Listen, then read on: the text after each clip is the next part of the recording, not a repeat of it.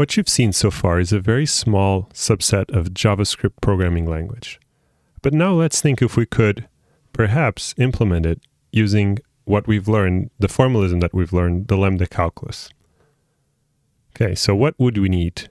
Well, we would need a way to create an empty object. We would need a way to access a field of an object, which is the dot notation, right? We would need a way to assign a value to an object which is we use this notation. It's just an assignment. So it's object dot field equals value.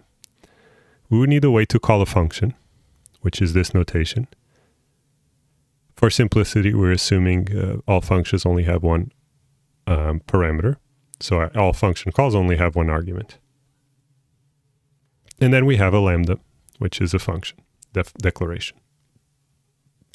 So lambda JS the way we're defining it is just this. So you have a, a object creation, field lookup, field declaration, function call, and function declaration.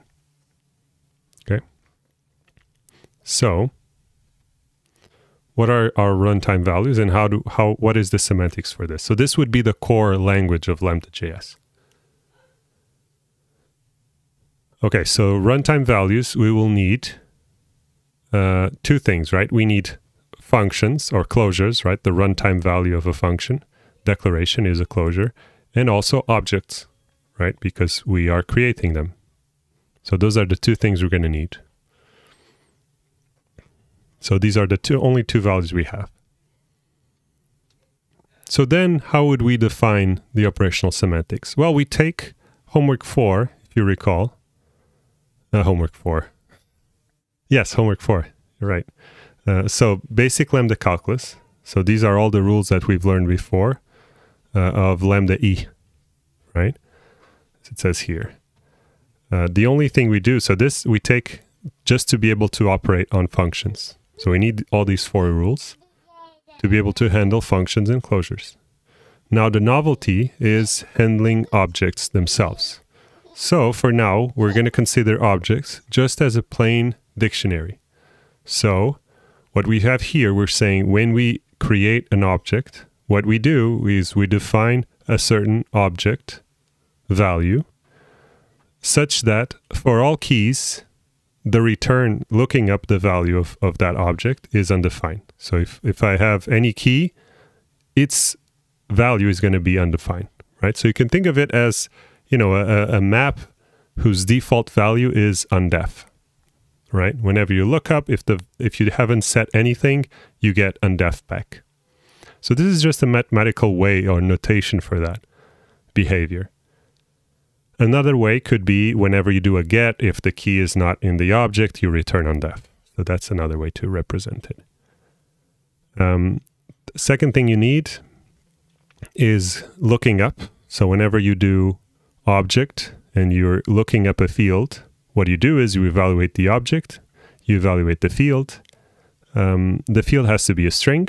And then what you do, you return, you look up that string key, right? Because you can have any expression in a lookup in the bracket, right? So if you go back to this code, uh, I could have, um, right? Uh, this is an expression where I'm concatenating the empty string with the string y, and it should still work? Uh, so this field, whatever using in the field lookup, needs to be evaluated. So that's what we have here in the in this part, in the green part. Uh, and of course, the object, in this case, is a variable. And as you know, variables are evaluated. They are expressions, so they need to be evaluated as well. The result is going to be a, an, on the left-hand side, you have to have an object, right? And then in the lookup side, you have to have a string, which we represent with s. So setting an object is uh, very simple. So you evaluate the object expression and you get an object. You evaluate the field and you get a string. And then what do you do? You evaluate the value they're assigning to that object, which is v, ev, and that gives you some value, could be anything. Uh, and then what we do is we update that object and set uh, the string s as the key and the value v as, as assigned to s right? So think about object the hash uh, set function, right, which updates the hash table. And think of the object just really as a basic uh, hash table. So you could define the terms with this AST, the values with this AST. You can go slowly through it and you can see it's pretty obvious. Hopefully by now you will you'll be able to do this. Just note that an object O is just something that holds a hash. So this data is going to be a hash table, right, for the keys and the values.